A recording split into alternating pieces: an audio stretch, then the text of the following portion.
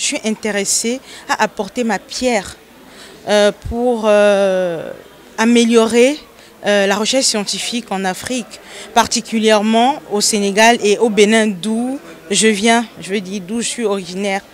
Et c'est la raison pour laquelle je suis là, pour essayer d'apprendre, pour voir un peu comment ça marche, euh, je veux dire, euh, comment circulent les informations, qu'est-ce qu'il y a déjà en place, qu'est-ce qui se fait. Parce que comme, il le disait dans les présentations, chacun dans son laboratoire, on est parfois coupé des, des, informations essentielles qui peuvent nous aider pour la suite de notre carrière euh, scientifique.